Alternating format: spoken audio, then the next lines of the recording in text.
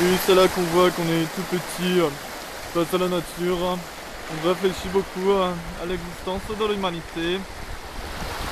Ça nous pas insignifiant vis-à-vis d'une telle splendeur.